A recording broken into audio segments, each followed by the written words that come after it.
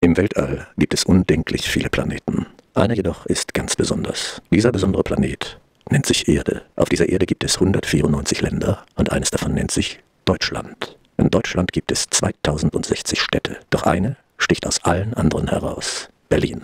Hauptstadt, Weltstadt und nicht zuletzt Kulturstadt.